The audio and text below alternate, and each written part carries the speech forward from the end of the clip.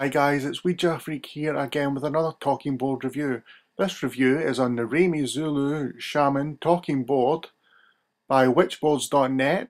It was created by Dan Whitaker. I just want to give a quick mention to the planchette, which is awesome. I also want to talk about the incredible thickness of the boards.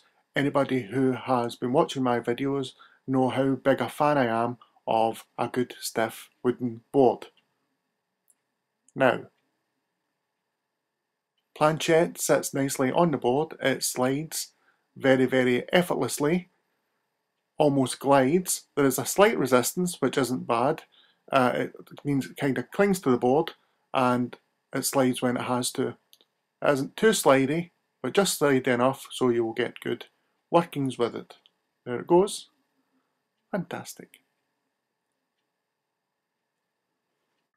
Here is a comparison between the 1992 Parker Brothers Ouija planchette and also the Raimi's planchette. As you can see, the Parker Brothers board, as we all know, is a plastic mass-produced planchette and the Raimi board is a handcrafted wooden planchette of higher quality.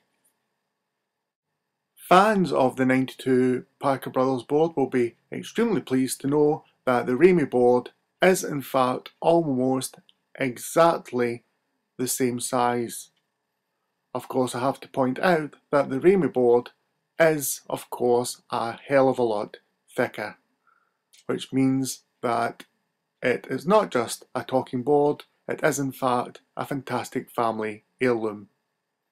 The Raimi board is highly recommended. It's one of the best quality produced boards to date and it's still available to buy on witchboards.net. Anyone who is a fan of talking boards should definitely add this one to their collection. I can guarantee it will probably outlive all the other boards in your collection. People who are fans of talking boards will have stumbled upon Dan Whitaker's site before.